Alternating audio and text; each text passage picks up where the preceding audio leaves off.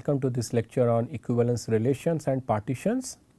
Uh, just to recap in the last lecture we introduced the notion of equivalence relation and equivalence classes.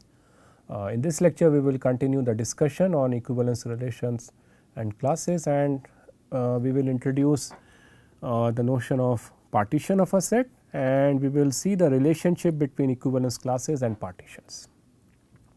So, let us start with the definition of a partition of a set. So, imagine you are given a set C which might be which may be finite or it may be infinite.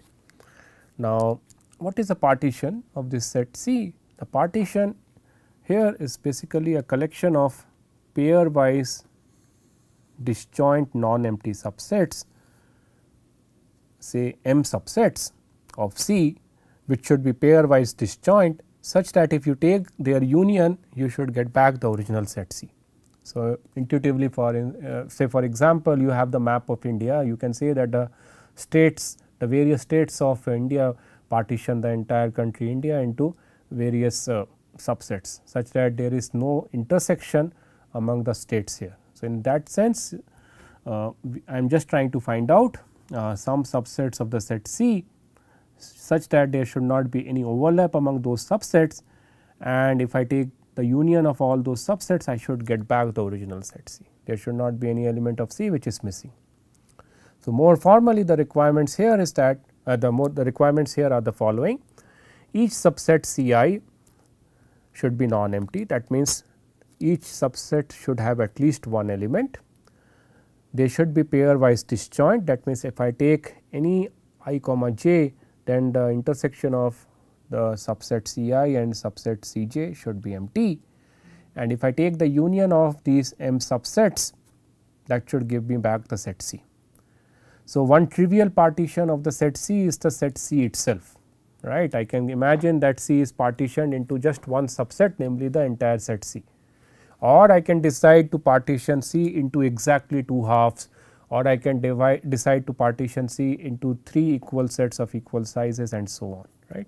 So, there might be various ways of, of partitioning your set there is not a unique way of partitioning a set. Of course, how many ways you can partition a set that is a very interesting question we will come back to that question later.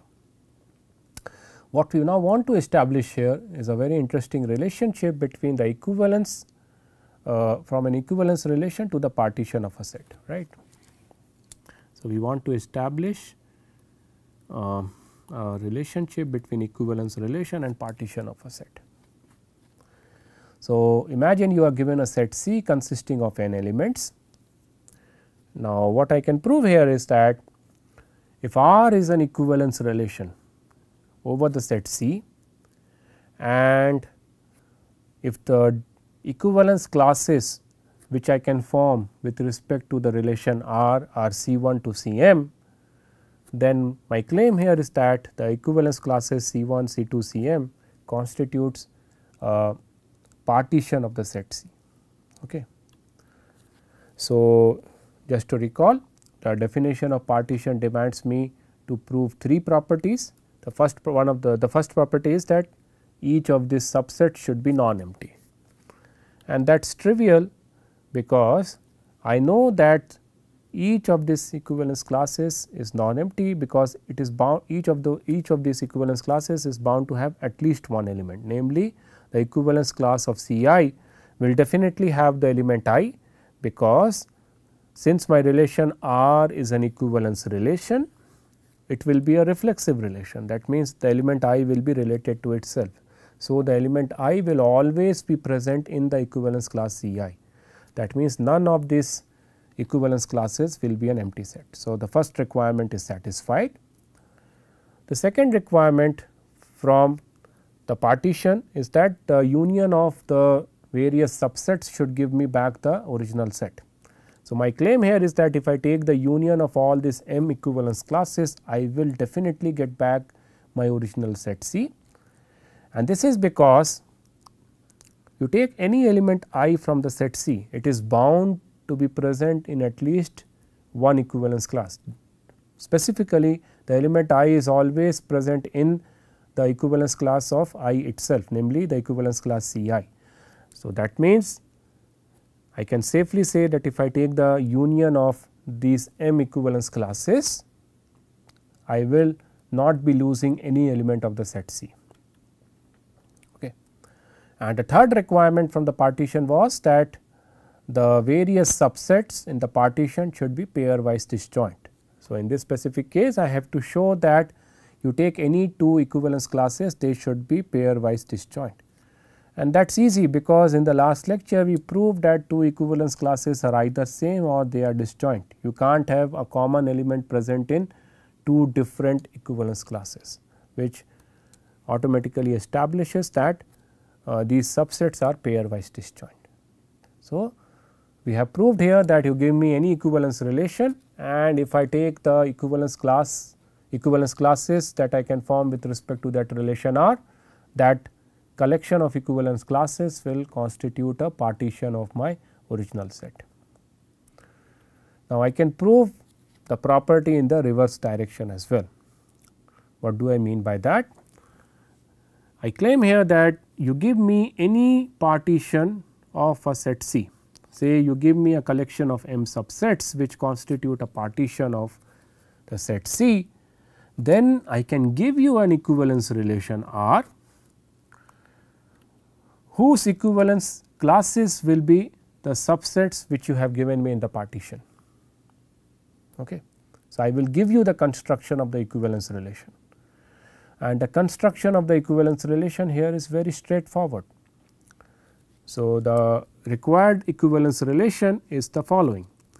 You take any subset from the given partition say the subset C k and here k ranges from 1 to m because you are given m such subsets in your partition so, with respect to each subset C k what I am going to do is I take the element i and I take the element j which are present in the subset C k and I add the ordered pair i comma j in my relation R right.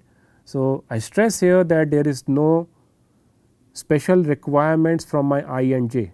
I am looping over all possible i comma j present in the subset C k. So, my i can be same as j, my i can be different from j and so on. For every i comma j present in my subset C k, I have to add the ordered pair i comma j in my relation R and if I do this for every subset C k in my given partition, then my claim is that the resultant relation R will be an equivalence relation and its equivalence classes will be the subsets C 1 to C m. So, just to demonstrate my point imagine my set C is 1 2 3 4 5 6 and a partition of this set is given to you. So, I am given 3 subsets Sub first subset has 1 2 3 the second subset has 4 5 and the third subset has 6. Let me construct a relation R as follows. So, I take the first subset here and by iterating over all i comma j present in this subset I add ordered pairs of the form i comma j. So, I add 1 1, I add 2 2 3 3 1 2 2 1 1 3 3 1 2 3 3 2. Okay. So, these are the ordered pairs which I have added with respect to the first subset. I take the next subset 4 5 and with respect to the second subset 4 5 I add the ordered pairs 4 4 5 5 4 5 and 5 4. So, these are the subset these are the ordered pairs which I am adding now with respect to the second subset and with respect to the third subset you might be wondering there is no j present in the third subset that is why I said there is no restriction that i should be same i should be different from j or i should be same as j also. So, I have to iterate over all possible i comma j present in the subset. So, in this subset if I substitute i equal to 6 and j equal to 6 I have to add the ordered pair 6 comma 6 in my relation R. And now you can check here that the relation R that I have constructed is indeed an equivalence relation. It satisfies the reflexive property, it satisfies the symmetric property and it is transitive as well. And if you form the equivalence classes of this relation R, you will get the subset C 1, subset C 2 and you will get the subset C sorry you will get these three subsets C 1, C 2, C 3. Okay. So, let us formally prove this we formally now going to prove that the relation R that I am saying here to construct indeed will be reflexive, symmetric and transitive. So, let us prove that this relation R will be reflexive. So, you take any element i from the set C, I have to show that i comma i is present in the relation R to show that it is reflexive. Now, since C1 to Cm is a partition of the set C, the element i will be present in one of the subsets in this collection. Say it is present in the collection, it, it is present in the subset Ck. Now, if it is present in the subset Ck, when I was when I am applying this rule to construct this relation R, I will see that element i is present in Ck and I will add the ordered pair i comma i in the relation R as per this rule. So, that shows that you take any element i from the set C, it is bound that I have the it is I it is bounded uh, if it is it is guaranteed that I have the ordered pair i comma i present in my relation R. That proves that the relation R is reflexive. Now, let us prove that the relation R that we have constructed here is symmetric as well. And for proving that I have to show the following, I have to show that if you take an any arbitrary ordered pair i comma j present in the relation R, then you also have the ordered pair j comma i also present in the relation R. And how do I prove that? So, the first thing to observe here is that if at all you have the ordered pair i comma j present in the relation R, that is possible only because of the following you have one subset say C k and both i and j are present in that subset. Then only you would have added the ordered pair i comma j in the relation R and none of these two elements i and j could be present in any other subset in this partition right in the given partition or in the given collection of subsets because that is the definition of a partition. So, since i and j are present in C k by applying the rule that I have followed for constructing the relation R, I would have also added the element j comma i because I have to iterate over all possible i j. So, when i becomes j and j becomes i as a result I get j comma i being also included in the relation R and that proves that my relation R is symmetric. Now, let us prove that the relation R is transitive and for proving that my relation R is transitive, let me take an arbitrary pair of uh, arbitrary ordered pairs. So, I, I, take the ordered pairs i j and j k present in the relation R and I have to show that the ordered pair i k is also present in the relation R. So, the first thing to observe is that since by construction of my relation R if at all i j and j k are added to the relation R that is because all the elements i j k were present in a common subset namely say subset C L because it can't happen that you have i j present in say C k and you have or yes uh, say i j present in C 1 and k present in C 2 that is not possible here right because that would have been the case then you would have added the ordered pair i j and j i in the relation, but you would have not added the ordered pair i k or j k in your relation. You would have added the ordered pair i j or j k in the relation only when all the three elements i j k are present in the same subset say C L right. Now, since you would have iterated over all possible i j present in the subset C L, you would have iterated over k as well and you would have added the ordered pair i comma k in the relation R as well and that shows that your relation R is transitive. Okay. So, that shows a very nice relationship a nice property between the equivalence classes and the partition.